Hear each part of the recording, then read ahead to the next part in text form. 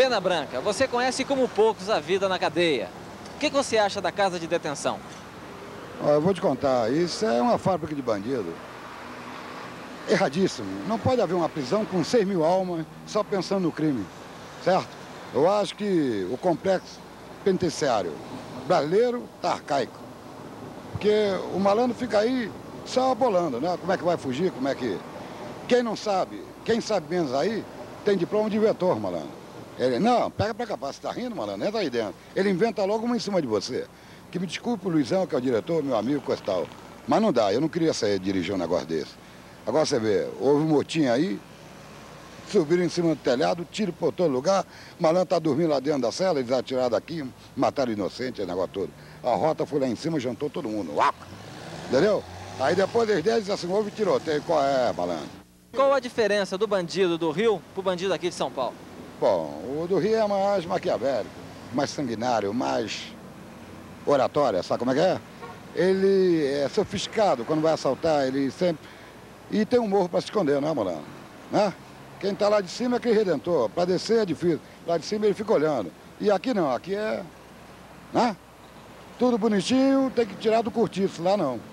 Lá tem a maconha, tem a cocaína, tem tudo, ele não precisa descer. Tem a mulher, a mulata do morro, né? Ele só fica esperando quem sobe. Nós estamos aqui na gráfica onde está sendo rodado o segundo livro de Pena Branca, o Algemas de Carne. E esta é a capa, um desenho de Elifas Andreato. O livro é um romance policial da pesada, onde Pena Branca vai fundo na intimidade da malandragem. Pena, de onde surgiu a ideia desse livro? Bom, 25 anos de andança, né? Então eu achei que tinha que botar para fora. Porque a criminalidade, ela nunca é perpetuada no papel. As futuras gerações não vou nem saber como é que o crime foi no Brasil. Então tem que colocar no papel. Então os grandes bandidos passaram aqui. Entrevistei a maioria deles. Tchau Medanho, Lúcio Flávio, Mineirinho, aquele monte de fera. Tudo bem. Eu era uma mecha branca, tudo preto. Agora tá cacique tudo igual. Então é o seguinte, eu resolvi. Esse livro é o seguinte, não tem bom caráter. É tudo piranha brava, sabe como é que é? Falsidade é a realidade da vida. Sabe como é que é? Lobo engolendo lobo, alcateia fugindo, couro come. Sabe como é que é? Esse livro do Pena Branca já tem garantido uma trajetória elegante. É que ele vai ser editado também lá fora, no exterior, em Paris, na França. Ô Pena, como é que você explica isso? Como é que você conseguiu esse editor? Olha aí, eu fui a Paris a primeira vez pela revista Actuelle. Aí os editores queriam que eu fizesse um livro sobre Esquadrão da Morte ou a Amazônia, ou então Malandragem Brasileira. Então fui a segunda vez, com a cara e a coragem. Mas. Você fala bem francês? Espera aí. Eu tenho quatro palavras-chave para invadir Paris. Certo? Pior do que os nazistas. Merci, oui, no e s'il vous plaît. Morou, malandro? Aí. E o resto é mímica. Sabe como é que é? Ou então lendo os olhos. Você conseguiu fazer as reportagens para a Act falando só essas quatro palavras? É, porque eu cheguei, por exemplo, em Marcélia, aquele bafior me olhou e disse assim, você veio aqui não sabe falar meia língua, como é que você quer me entrevistar? Eu digo, não lê a boca, lê os olhos. Aí o malandro me abraçou, me deu tudo. Morou, malandro?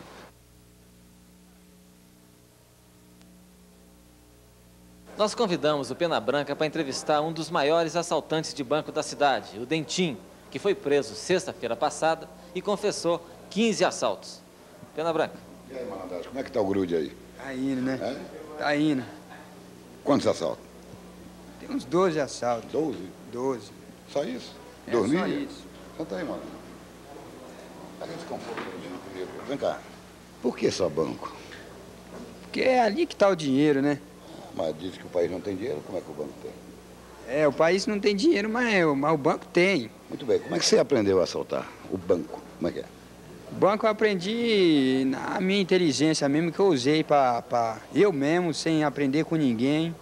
E bolei, arrumei uns companheiros e fui nessa. Muito bem, eu sou jornalista e eu tive que aprender jornalismo para fazer.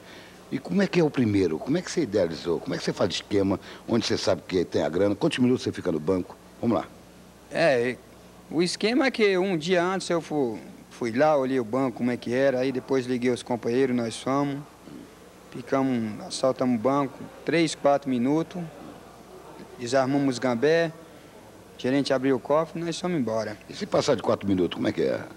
Não, até... arraiar, como é que é? não, até seis minutos tá tudo certo, mas, mas não passa não, é difícil. Os assaltos Vamos lá botar bem por baixo, dois anos em cada assalto, 24, vai puxar isso tudo? Não, não é assim também não. O Código Penal tem, tem 96% para mim ganhar e 4% para mim perder. Ah, malandro, você já estuda de direito, é? Já sabe tudinho? Não, mas a gente quando tá preso a gente dá uma, uma olhada. A gente tem que ser esperto.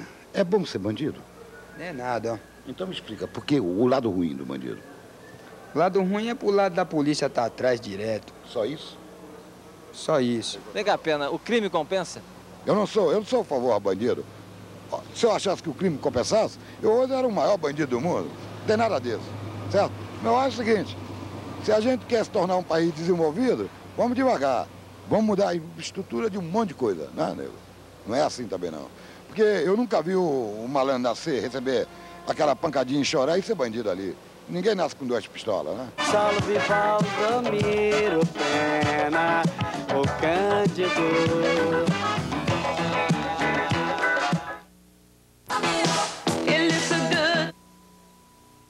Avenida Ipiranga, número 1267. Tá aí, Cláudia, o bar Atlântico que a gente tanto ouve falar. Olha só, escuta só a música, Tavinho. Vamos entrar? Vamos que vamos.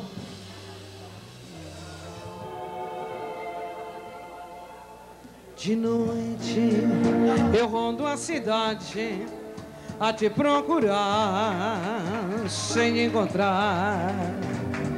No meio de olhares espinho e em todos os bares você não está.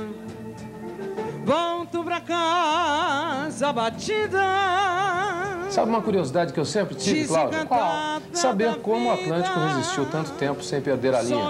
É que antigamente vários bares, boates e restaurantes parecidos funcionavam por aqui, como o Fazano, o África e o Oasis. Mas esses